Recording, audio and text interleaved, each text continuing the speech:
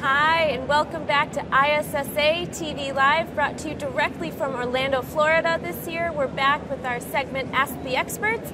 And with me, I have Steve Spencer from State Farm Insurance, and I'm your host, Hannah Kennedy. So, we're going to ask you a few questions today, and our first one is How do you define daytime cleaning? I define daytime cleaning as moving your cleaning operations to the day, but allowing for the uh, operations of the building to continue okay. without any interruption or very little interruption.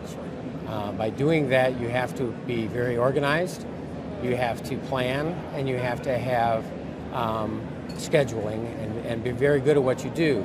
But the end result will allow you to save money and also um, save energy, and which we all want to do. Yes, we all definitely want to do. So, based on that, what do you think are new challenges that you face in cleaning? Uh, it's interesting because uh, State Farm, who I work for, is moving more toward um, call centers inter- inter- interlaced with regular office building, and they're in leased facilities. So instead of doing daytime cleaning as we've done before, we're doing what I call right time cleaning, which okay. means we have, um, because they're 24 7, we have to find the spots where we can get in and do the cleaning and do it quick. Uh, it makes us have to do cleaning. For instance, carpet cleaning cannot be wet sure. because it has right. to be dry as soon as you clean it so that we can get back on it. So, a lot of new challenges on how we can keep the building clean and also not interrupt the operation of the, of the organization. It's very true. So, what does the CIMS and CIMS GB certification mean to you?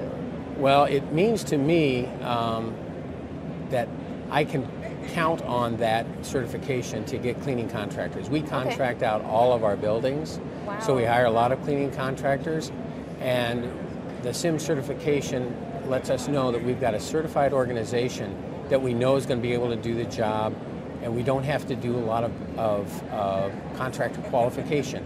If I see CIMS or CIMS GB after the name of the company, I know that they're going to have a service delivery program. I know they're going to have a um, quality control program. They're going to have a good HR and training uh, program that they're going to use. They're also going to have management support, and they're going to be very much aware of environmental health and safety issues when it comes to chemicals. That's good to know. So, you get about 16 to 18 years or so of experience um, life or appearance life from your carpet. How do you how do you do it? Why is it important? Well, it's important to us because uh, carpeting in our facilities is a large uh, outlay of cash. Uh, a typical facility will spend $5 million to put carpeting in a building. So it's a very, very um, high asset. We want to protect that asset.